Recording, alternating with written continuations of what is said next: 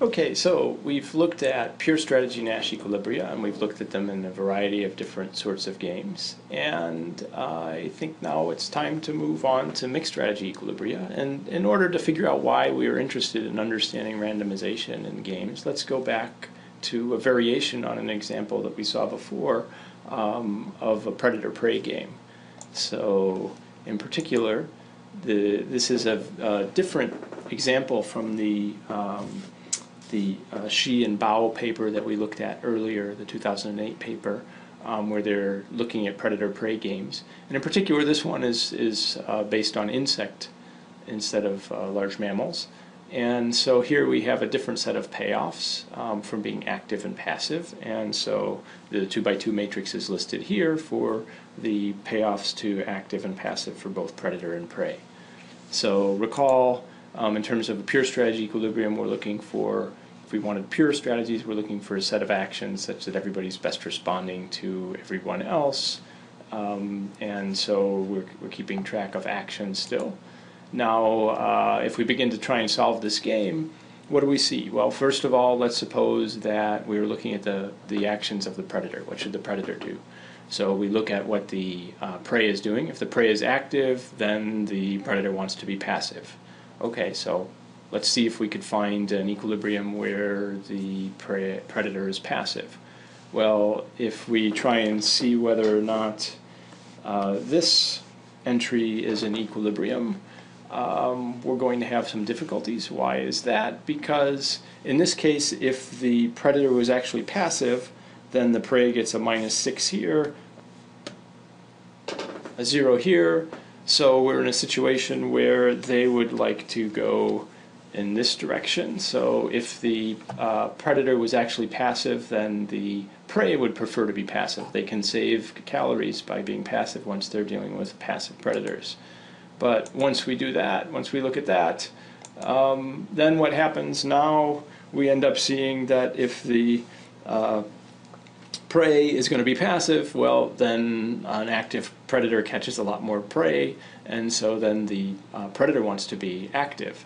So we think, okay, well, none of the other ones have been uh, stable so far, maybe this one works, but here when we see if indeed the predator is going to be active, then uh, the prey also wants to be active and so the minus 7 is better than the minus 8. And so what we've got is a cycle here where none of the combinations of actions form pure strategy Nash equilibrium. So no matter which pair of actions we put together, somebody wants to deviate from that. Somebody has a different action which is a better response, a best response, and so we end up having a cycle and we don't find any stable pure strategy Nash equilibria in this uh, particular game. So what do we do? Well, the problem is that the prey wants to match what the predator is doing, um, uh, and the predator wants to mismatch. And so, in this kind of game, we're not seeing any steady points. So, this brings us to mixed strategy equilibria. So in order to define mixed strategies, what we're going to do is allow the players to randomize. Instead of just picking one action for sure, they might choose different actions with different probabilities. So in order to do that, let's define mixed strategies very carefully now. So in particular, we're still sticking with our AI as the pure actions that each player has available. And we'll, for now, let's stick with the situation where these are finite sets. So let's take these to be finite.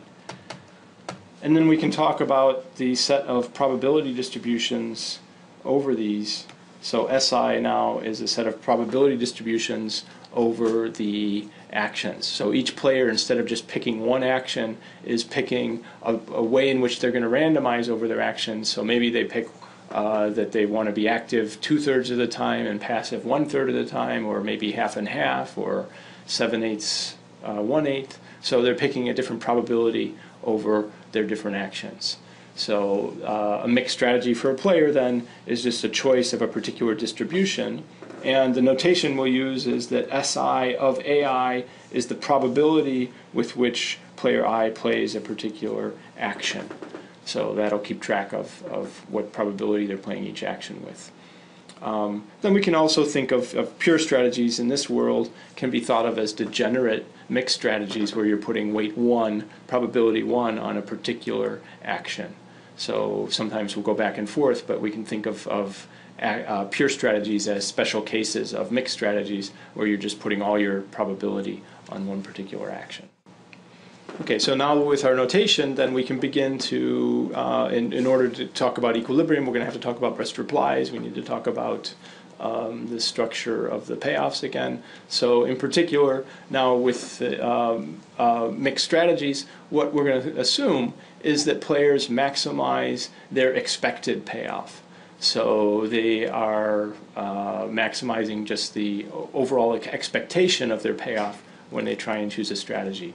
So the expected payoff of a given player, when she chooses a pure action AI and her opponents play mixed strategy S minus I, we can just think of that. So what's the, the, the payoff to I from playing AI? Um, well, we can just look at the overall probability distribution uh, given what the other players are doing over their uh, their actions. So S minus I over A minus I now is just the overall probability of A minus I being played given a profile of mixed strategies of the other players. So we sum across the possible A minus I's and we get a total number here, which is their expected payoff, conditional on what the other players are doing and a given strategy for themselves. So then if we choose, if we want to just figure out what the payoff is for a particular randomization for a given player, then we're just going to take this thing we've just talked about, the expected payoff for a given action, and then we just sum across how much weight they're putting on each action, and we end up with a total overall expected payoff. So we can keep track now of a U of the profile of mixed strategies um, of all the players as opposed to just the pure strategies. So this is just a direct extension now where they're maximizing expected payoffs given the probability distributions over actions and it's a, a straightforward generalization of what we were looking at before. Okay, so our definition of mixed strategy Nash equilibrium is analogous to what we had before in terms of pure strategy Nash equilibrium, except now we're dealing with the randomized strategies and the associated payoffs. So we say that a mixed uh, profile of mixed strategies S is a mixed strategy Nash equilibrium if a given player strategy, SI is a best response to the actions, uh, the mixed strategies of all other players. So in particular, the payoff that player I gets from playing SI is at least as high as they would get from playing any SI prime alternative strategy, given the mixed strategies of all the other players. So let's take a look at how this works out when we go to the predator-prey games. So we saw that there was no pure strategy equilibrium, so let's begin to talk about mixed strategy equilibrium in this game. So let's let S2 of active, so the column player we'll call player player 2, the, the prey. So S2 of active is the probability that the prey is active. Just to simplify notation so we don't have to carry that around everywhere, let's just let the letter P be the probability that the uh, prey is active. Okay, similarly, let's let Q be the probability that the predator is active. And now, uh, in solving for an equilibrium, let's look for an equilibrium where we think all four actions are going to be used. So we'll, we'll look for a situation where the predator is actually going to be using randomization mixing over both active and passive, so have non-trivial probabilities on both, and where the prey is going to have a non-trivial probability on both. So P is the probability that the prey is active. That means that then there's a 1 minus P probability that the prey is passive. And so based on that, then we can go ahead and if we are assuming that the predator is going to use both active and passive in their uh, randomization, then it has to be that those are both best responses to the P and 1 minus P of the prey that means that the payoff to playing active has to be equal to the payoff of being passive.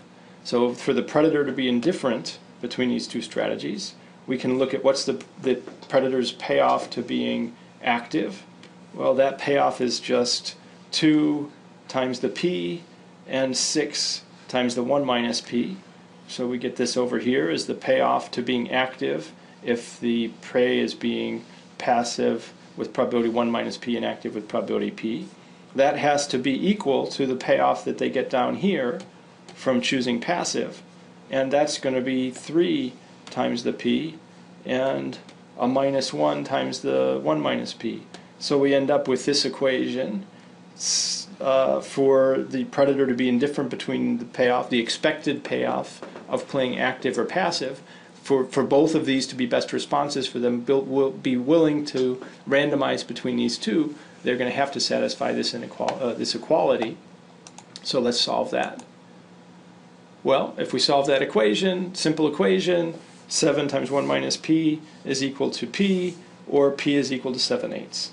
So that tells us in order for the predator to be indifferent between playing active and passive, so to be willing to put probability on both, then the prey is going to have to play 7 eighths on active and 1 eighth on passive.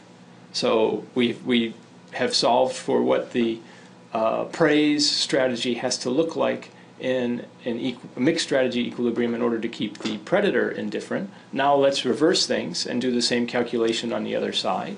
So we go through that. Remember that Q is the probability that the predator is active. You can do the same calculation. So now we've got a Q here, a 1 minus Q here. We want the prey to be indifferent between choosing active and passive. So we can figure out what's their payoff going to be based on these rates if they choose active, if they choose passive, set those two things equal to each other.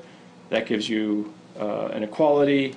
Solve that, you get six sevenths um, for, for Q. So the predator has to be being active six sevenths of the time and passive one seventh of the time in order for the prey to be indifferent. So, what have we got? We've got a mixed strategy equilibrium. These are the relative probabilities that the different actions are played. So there is a, a, a Nash equilibrium to this game, even though there's no pure strategy Nash equilibrium.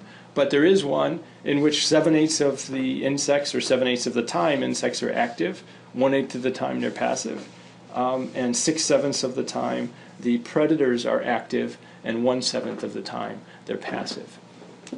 I'll just, uh, in order to, to talk a little bit about the interpretation of this, obviously this brings up a question of what really is randomization here.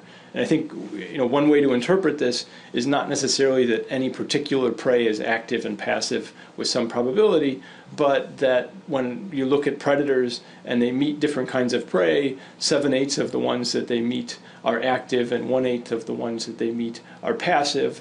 Um, and, and vice versa in terms of prey. What the important thing is is, is in terms of the expected uh, what strategy that they're going to face on the other side has to have these particular probabilities in order to balance and be in equilibrium. Um, but now, you know, what, how we interpret this can can vary depending on the actual application. So we'll talk more about uh, interpretations of mixed strategies as we go along.